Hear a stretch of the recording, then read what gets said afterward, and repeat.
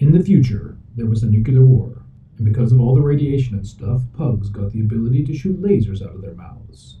Some used the pugs for good, others for evil. Who will win in a world of laser pugs? Oh no, we're under attack! Oh, I forgot my book! Say,